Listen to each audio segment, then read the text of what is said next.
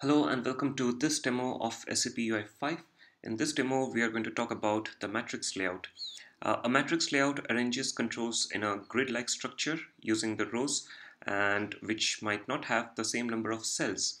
And if you're aware of basic HTML and you know how to create a table in HTML, then understanding the matrix layout is really easy. And you should only use a matrix layout if you need to align the controls horizontally across the rows. So we'll try to understand how a matrix layout works. Uh, before that, we are going to create a HTML table and that's that's the way it works in the background. And if you can understand this particular stuff in HTML, then creating matrix layout in UI5 applications would be really easy. So let's go ahead and create a table. Uh, so I'm creating a table. It's going to have a border so that you can see the cells and the rows properly. And I'm going to give a cell padding of 20 so that things are a little enlarged. And now we are going to create three different rows.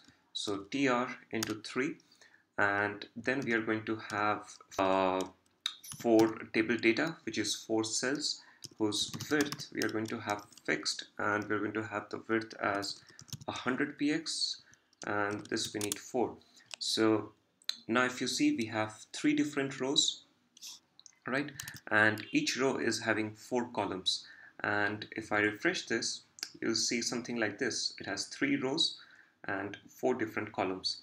Now in the first row and the first column the first cell basically we are going to add something like a first name right? And in the second cell over here we are going to have our input so that we can type our input over there Similarly, here we are going to have last name in the second row and we're going to have input. And in the third over here we need a button okay? So something like save.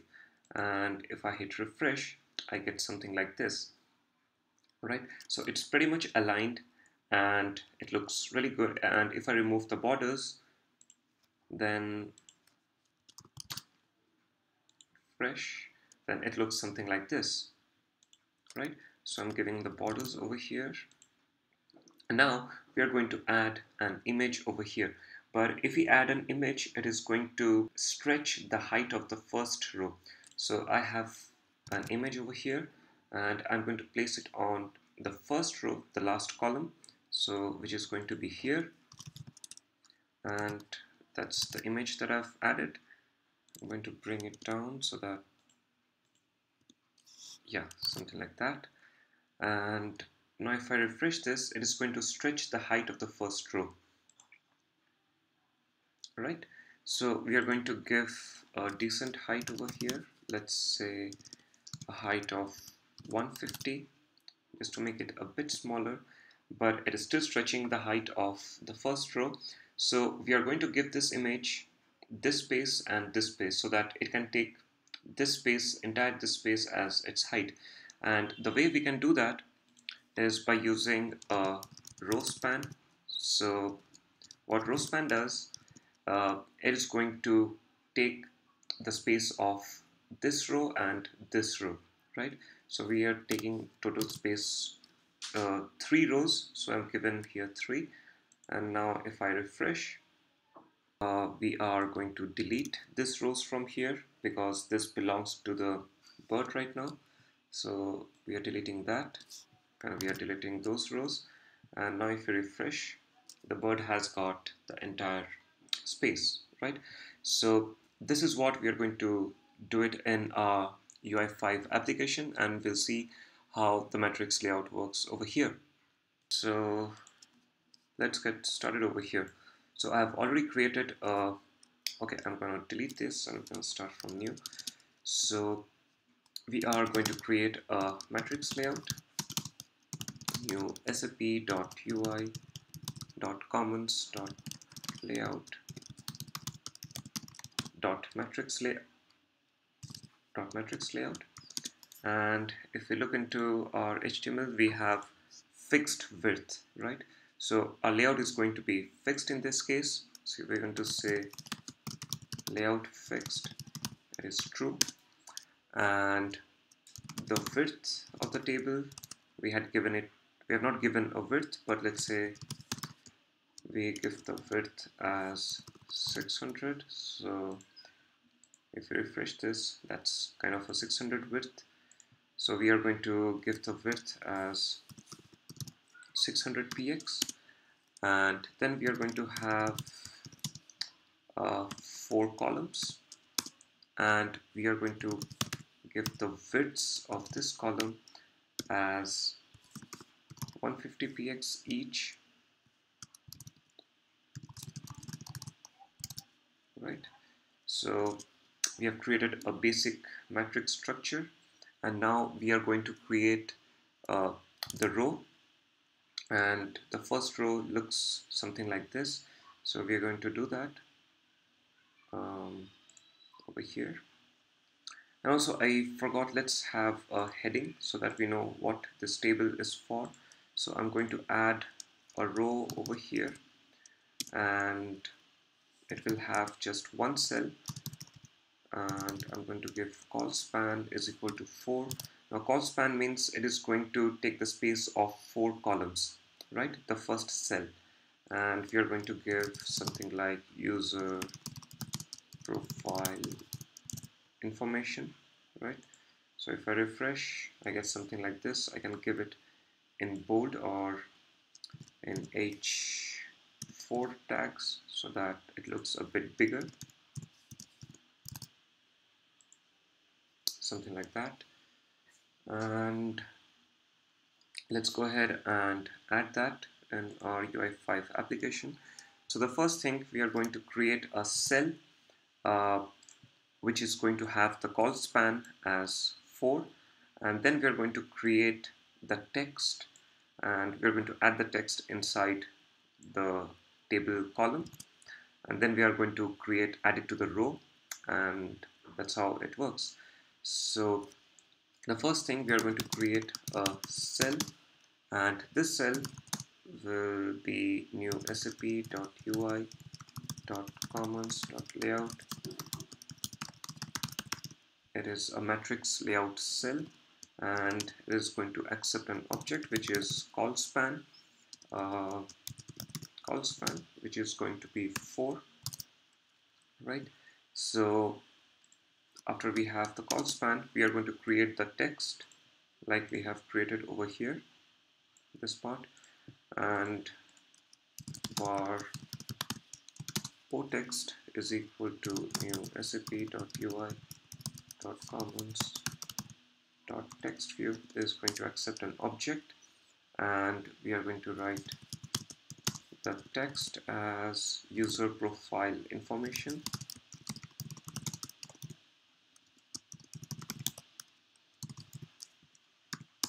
right and we are going to give it a design. And sap.ui.commons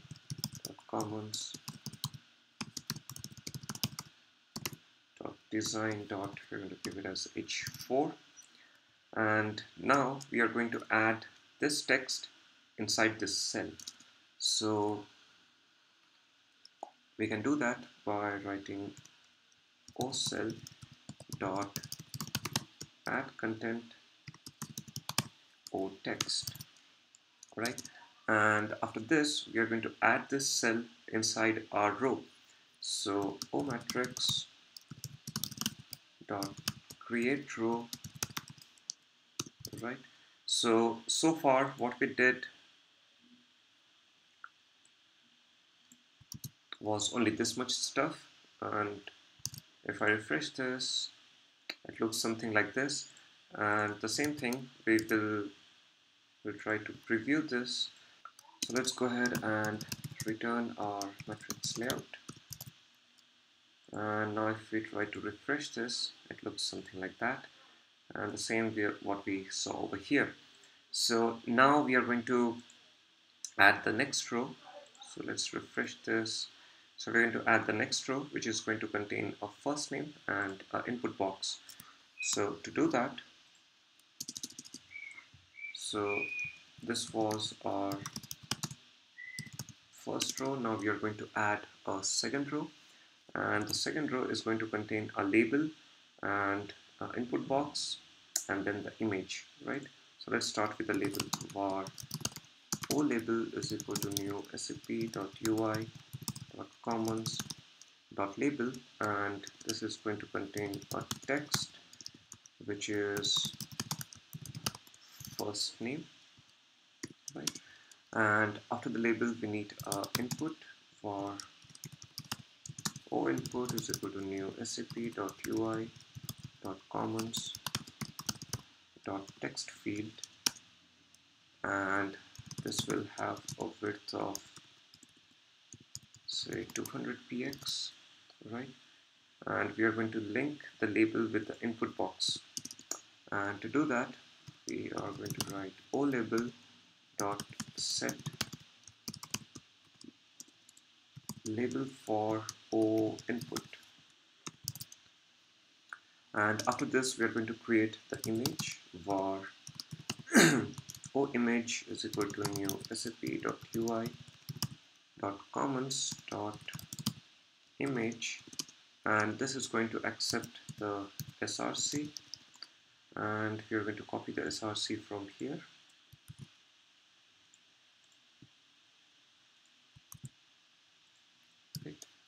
And we had given a height of 150px and the same thing we are going to give it over here.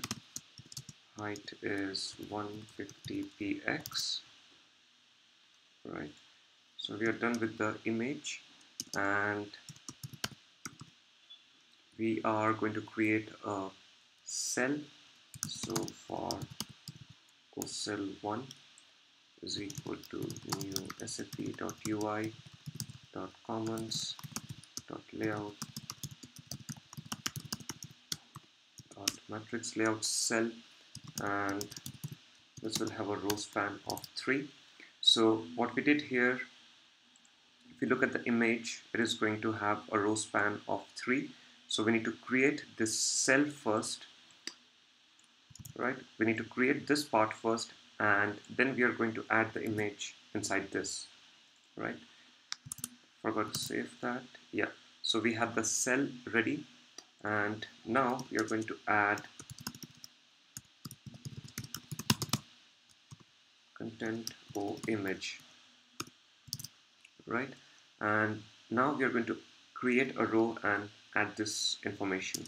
So we can do that by writing o matrix dot create row and the first data that we have is o label.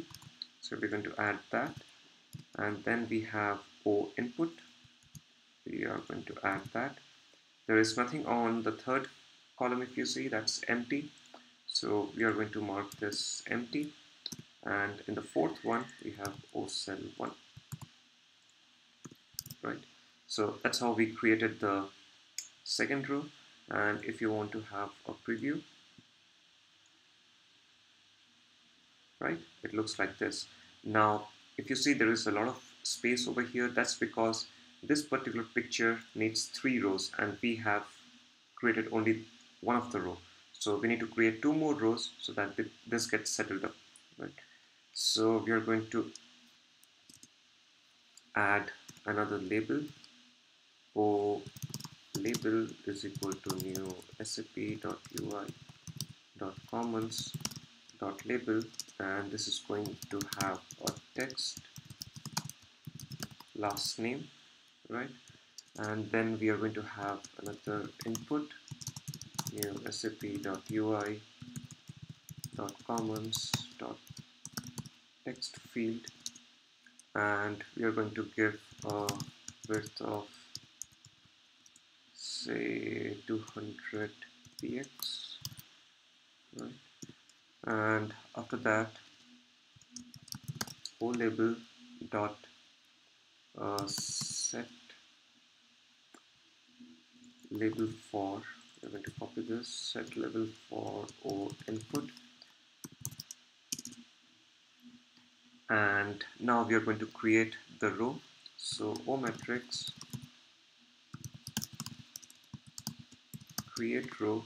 So here we are going to have o label as the first thing and o input as the second column. So we have created uh, this is the second row. And we need to create a third row and we're going to have a button in that case. So we can write var button is equal to sap.ui.commons.button and we are going to have a text which is going to be save. And we're going to add this inside a new row. So matrix dot create row now if you remember when we visit here when we're creating the third row the first one is null. So we are going to give it as null and then we are going to pass our button to it. So that's how it has created the third row. And now if we go ahead and refresh this page right we get the same uh, thing that we get over here except that this contains borders uh, but now that you have understood how it works we can make the borders as zero. Let's refresh. Right so it, it's almost more or less it's the same. Uh, so I hope you understood how to create the matrix layout and I suggest you to go ahead and create more rows and create a form and see how everything works. Play a lot with row span and col span. They are really helpful um, and if you have any doubts just drop me a comment and I'll try to help you out with that. Thanks for watching